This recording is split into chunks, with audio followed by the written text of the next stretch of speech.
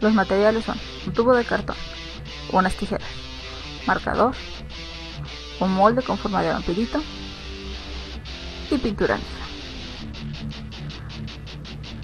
Lo que vamos a hacer es trazar el vampirito en el tubo de cartón ayudándonos con el plumín.